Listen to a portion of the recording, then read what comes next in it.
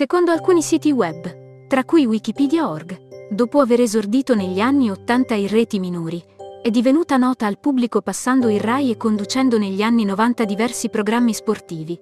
Dopo una breve esperienza in Mediaset, dal 2 ottobre 2000 all'1 giugno 2018, eccetto il periodo compreso tra dicembre 2008 e maggio 2010, ha condotto la prova del cuoco, trasmissione di Rai 1 che l'ha lanciata come conduttrice di punta dell'emittente, per la quale ha anche condotto numerose trasmissioni di prima serata, come il ristorante. Come raccontato dalla stessa conduttrice nel corso dell'intervista al TG1, è sempre mezzogiorno, tornerà lunedì 11 settembre, per fare compagnia ai telespettatori nell'orario di pranzo e scoprire nuove ricette da poter replicare a casa propria.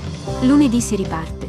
Sono molto felice, perché per me è un appuntamento quotidiano con le persone, ha detto Antonella, mi piace tenere compagnia, cucinare, chiacchierare. Parlo di tutto, di vita, di quotidianità. Ma la lunga intervista è stata un momento speciale anche per ripercorrere la lunga carriera della conduttrice, che l'ha vista condurre anche il Festival di Sanremo nel 2010. Un'edizione tutto tranne che semplice per la Clerici che, come forse molti ricorderanno, dovette placare l'ira dell'orchestra mentre lanciava gli spartiti in aria per l'esclusione dalla kermesse di alcuni artisti. Un Sanremo rimasto nella storia. Ho condotto da sola, veramente da sola. Io non avevo neanche un partner perché nessuno ci credeva. Ero veramente da sola su quel palco e allora ho pensato di mettere in scena me stessa, ha detto Antonella a proposito. Ma la sua carriera è stata segnata anche da tantissimi altri successi, spesso condivisi con altri amici e colleghi.